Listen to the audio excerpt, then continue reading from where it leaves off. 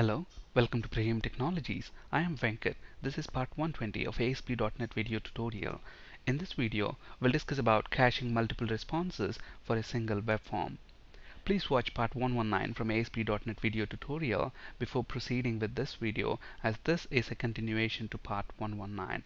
Let's understand caching multiple responses with an example. Let's flip to SQL Server Management Studio and if you remember in the previous session we discussed about creating this table TBL products and populating it with some sample data.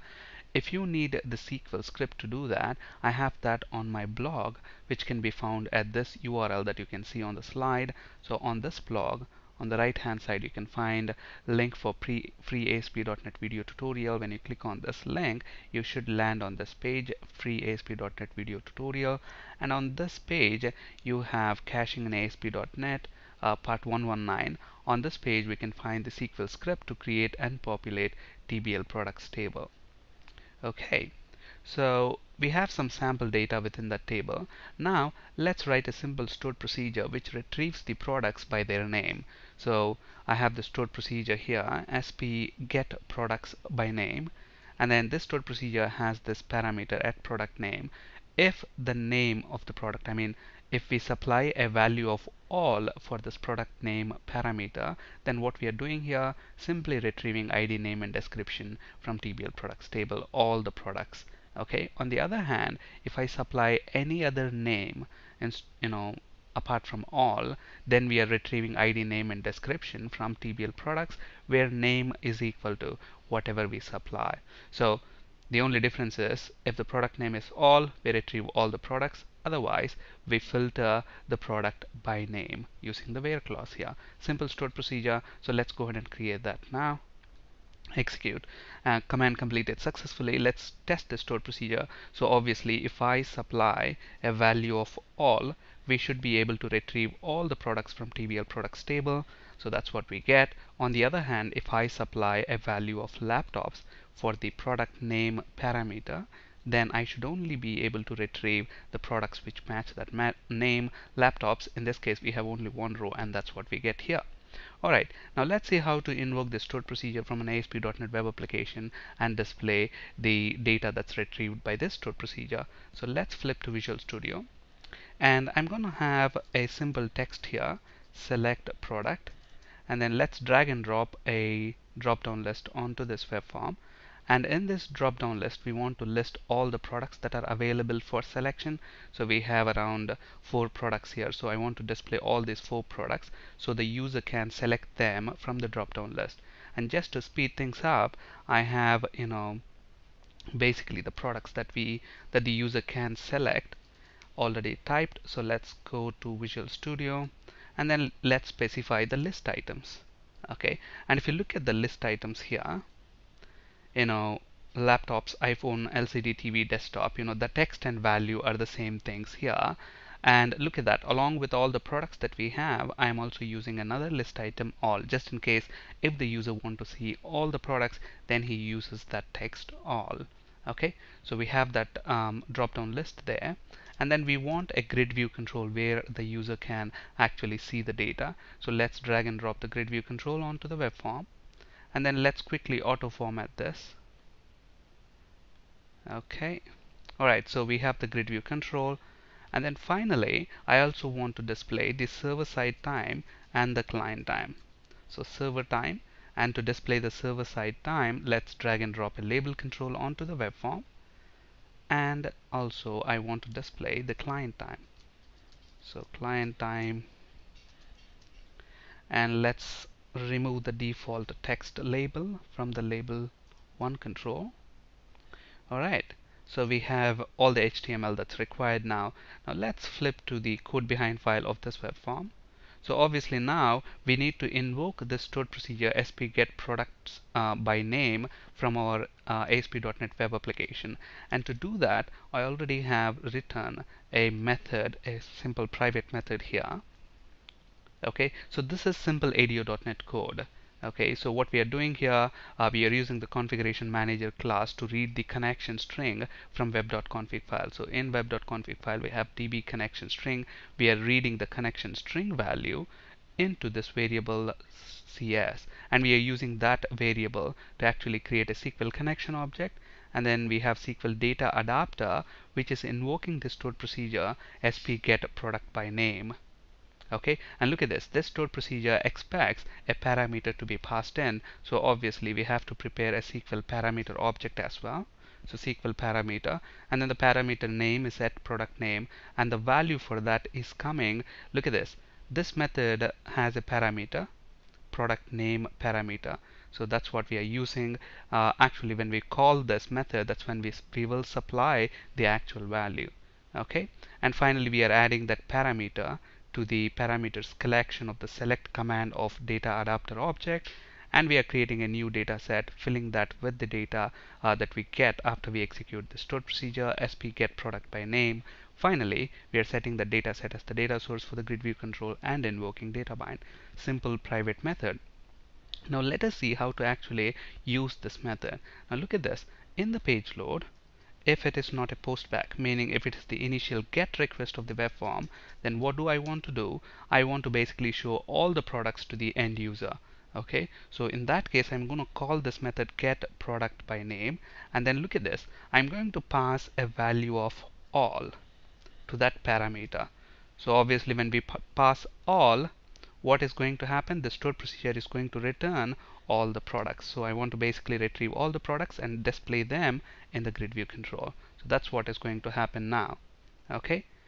And what else I want to do? I also want to set the server side time. If you remember on this web form we have this label 1 control which displays the server side time and to retrieve the server time I'm going to set the text property of this label control to datetime.now dot to string. So datetime.now should give us the current date and time on the web server where this code gets executed. Okay. And another thing is we have displayed the server side time using datetime.now but to display the client time we can make use of the javascript. So let's flip to the source. So this is where I want to display the client time. So let's use the script tag and specify the type as text slash javascript. And to print the client time we can use the document objects write method. And to retrieve the client time we can use the date function the javascript date function. That's it. So this piece of code should retrieve the time on the client machine whereas this piece of code should retrieve the date and time on the web server. Alright now another thing that we have to do Obviously, when the selection in the drop-down list changes, we want to display only the product that the user has selected. So the first thing is I want to set the auto post back property to true. So whenever the selection changes, we want to immediately post back to the web server. So I've set the auto post back property to true. Double click the drop down list control. So whenever the selection changes, what should happen? We want to invoke this method and then pass in the name of the product that we want to display to the user. So obviously within the drop down list the user will select a product and that selected value we want to pass to this method which in turn is going to call the stored procedure and pass that product name as a parameter value for that product name attribute. So let's go ahead and invoke that method now within the drop down list 1 underscore selected index changed event so get product by name and look at this it expects a product name and where do we get the product name from? From the drop down list. And from drop down list we which property do we use? Selected value. Because if you remember on the web form we have set the value also as the name of the product. Okay. Alright so that's all Okay, let's save everything. Let's go ahead and run this as it stands right now. Now we don't have caching enabled at all. So now the web form, you know, the application is going to work uh, normally without caching. So let's run this by pressing Control F5 when the web form loads as you might expect. You know, uh, it should first display all the products here. Okay, look at the server time 1645 16 1645 16 both the server side and client time are the same now I select laptops. Look at that 1645 27 1645 27 both the server and client time are the same and I see laptops. And if I select desktops I get desktops and notice the server side time and the client side time. They are the same things okay? Now let's go ahead and enable caching. In the previous session to you know we discussed about enabling caching. To enable caching all we do is set the output cache attribute okay? So let's go to the web form so let's go ahead and set at output cache attribute. So output cache and there are two mandatory attributes. The first one is the duration which controls how long the web form should be cached uh, in this case I'm going to set that to 60 meaning this web form is going to be cached for the next 60 seconds. And then we have vary by param attribute as well. In the previous session we discussed that this parameter can be used to cache multiple responses for a single web form. In the previous session we have set that to none meaning cache only one response for the web form. Let's go ahead and set that to none for now and let's see what's going to happen. So we have enabled caching, set, set the duration to 60 seconds and vary by param to none. So now only one response of this web form will be cached. So as a result of this, let's see how the behavior of this web form is going to be. Let's run this project by pressing Ctrl F5.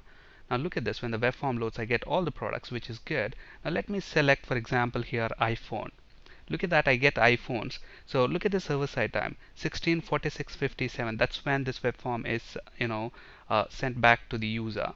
And that's the client time. Server side time and client side time are the same. Now look at this I'm selecting all here. Look at that.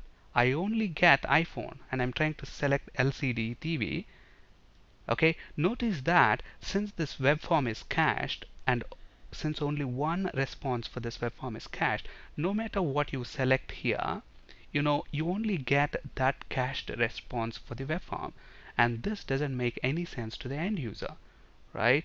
Because you know I'm making a different selection but ultimately turns out that I, I get that single response that is cached for the single selection of drop down list iPhone. Okay no matter what your selection is within the drop down list you get whatever is cached on the web server. So how do we correct this problem? To correct this problem all you need to do is set this vary by param you know to drop down list 1 so obviously if you set vary by param to none only one response of webform 1 is cached and that's what the you know every user will get when they try to access that web form before that duration has expired. Okay? But on the, on the other hand to solve that problem all we have to do is set that vary by param to drop down list 1 so in this case what's going to happen? It's going to cache up to five different responses you know for that web form and obviously one for each possible selection from the drop down list control. Now look at this. In this drop down list control I have five different values. So five responses for this web form will be cached. One for each possible selection from this drop down list one. So let's see how to solve that problem. So I'm gonna set vary by param to drop down list one. Okay let's save that. Let's go ahead and run that now so let's close that initial. So now all is retrieved at 1648.56 now look at this. I get laptop 1649.02 that's when it is cached 1649.02 I select iPhone. Look at that. 1649.09 that's when it is cached look at that. When I go back to laptops I get that same cached version. But look at the client side time. It keeps changing because on the client side the JavaScript code keeps running. On the other hand if I go to desktops now this web form will be reprocessed. And look at this. At this time this web form is reprocessed. And a response for this desktop is cached. So if I go back to laptops look at that. I still get that version which which was cached at 1649.02 okay? So now for each possible selection you know a response will be cached. Okay? So if I select all look at that 1649 maybe that 60 minute uh, 60 seconds duration has expired. So this web form is reprocessed. So let's go for laptop. So this is not reprocessed yet. This uh, this web form was cached at 1649.02 now it is 1649.58 okay? So in in the next three or uh, four seconds it's going to be reprocessed. Now if I select if I go back to iPhone and come back to laptops look at that it will be reprocessed and recached okay? So now since we have set vary by param to uh, drop down list 1 for each possible selection from the drop down list we will have a response of the web form cached On this slide, you can find resources for ASP.NET C Sharp and SQL Server interview questions. That's it for today. Thank you for listening. Have a great day.